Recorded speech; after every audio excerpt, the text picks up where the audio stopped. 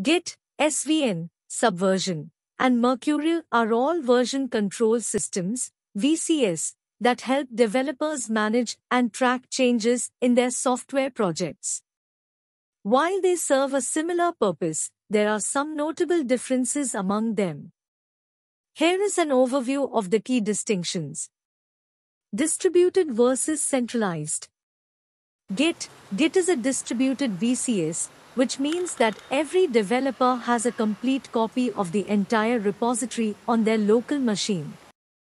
It enables offline work, allows branching and merging to be fast and lightweight, and provides more flexibility for collaboration.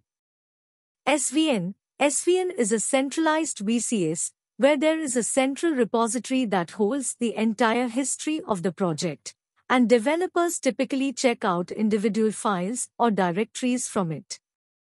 This model relies on a central server for operations like commits and updates. Mercurial Mercurial is also a distributed VCS similar to Git, providing similar benefits like offline work and efficient branching and merging. Developers have a local copy of the entire repository and can work independently. Repository structure Git Git organizes its repository as a collection of snapshots or commits, each representing a complete state of the project at a specific point in time. Commits are linked together, forming a directed acyclic graph. SVN SVN stores the repository as a centralized database that tracks changes to individual files. It maintains a linear revision history with each revision building upon the previous one.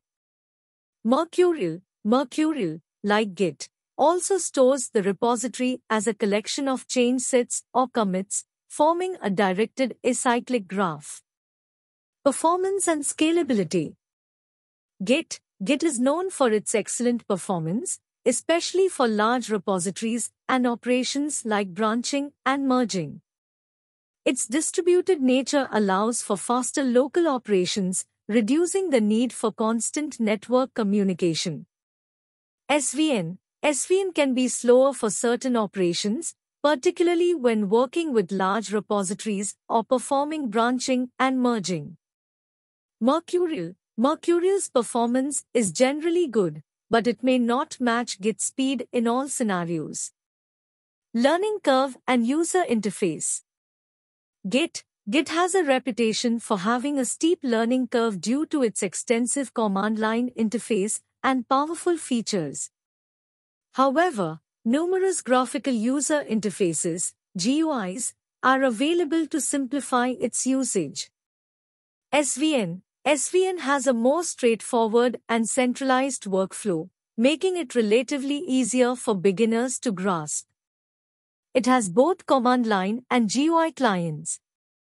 Mercurial Mercurial aims to strike a balance between simplicity and power.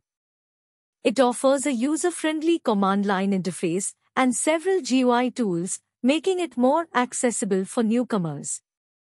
Popularity and community support.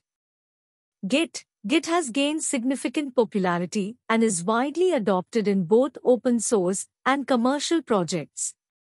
It has a vast and active community, ensuring extensive documentation, support, and numerous third-party integrations. SVN SVN was once widely used but has seen a decline in popularity in recent years. However, it still has a significant user base and is actively maintained.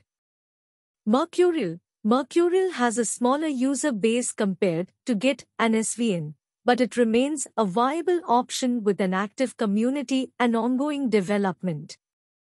Ultimately, the choice between Git, SVN, or Mercurial depends on various factors such as project requirements, team preferences, and specific workflow needs. Git has become the most dominant VCS in recent years due to its flexibility, performance, and widespread adoption, but SVN and Mercurial may still be suitable for certain use cases or legacy systems.